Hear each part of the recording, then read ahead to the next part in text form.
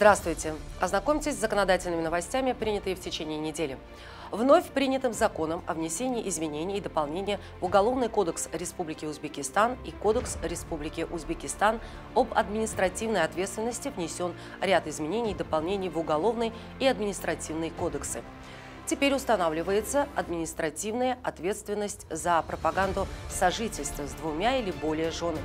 Теперь отправление религиозного обряда по заключению брака между лицами, брак которых не зарегистрирован в установленном законом порядке, в том числе с лицом, не достигшим брачного возраста, влечет наложение штрафа от 15 до 30 базовой расчетной величины, от 4 миллион 950 тысяч суммов до 9 миллион 900 тысяч суммов а пропаганда сожительства с двумя или более женами, распространение взглядов, идей или призывов такого содержания, а также поощрение таких действий влечет наложение штрафа от 15 до 30 базовых расчетных величины, от 4 миллион 950 тысяч суммов до 9 миллион 900 тысяч суммов, либо административный арест до 15 суток.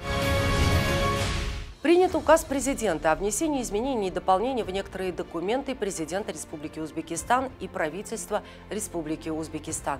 Настоящим документом внесены изменения и дополнения в некоторые нормативно-правовые акты. Теперь граждане могут в некоторых случаях вывозить ювелирные изделия без заполнения таможенной декларации – Например, физические лица могут вывозить за пределы таможенной территории Узбекистана готовые ювелирные изделия стоимостью до 100 миллионов суммов без заполнения пассажирской таможенной декларации стоимостью 100 миллионов суммов и более на основе пассажирской таможенной декларации. Напомним, что ранее готовые ювелирные изделия стоимостью более 5000 долларов США разрешалось вывозить за пределы Узбекистана, заполняя пассажирскую таможенную декларацию. Продолжаем. Принято постановление президента о дополнительных мерах, направленных на дальнейшее повышение качества государственных услуг по назначению пенсий населению. В данном документе установлено, что для граждан при выходе на пенсию создается ряд удобств, в том числе в определенных письменно-документальных вопросах. Теперь с 1 января 2024 года граждане для назначения пенсий могут также обращаться по их желанию в Центр государственных услуг или в единый портал интерактивных государственных услуг my.go.uz.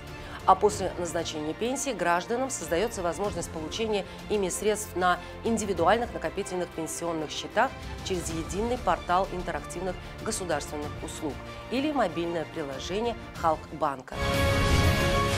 Важным нововведением для женщин, интересующихся военной сферой, стало новое постановление президента о внесении дополнений и изменений в некоторые постановления президента Республики Узбекистан.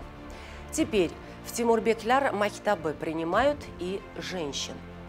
Соответственно, с 2024-2025 учебного года в Ташкентский военно-академический лицей Тимурбек-Ляр Махитабе Национальной гвардии будут принимать граждан Узбекистана женского пола.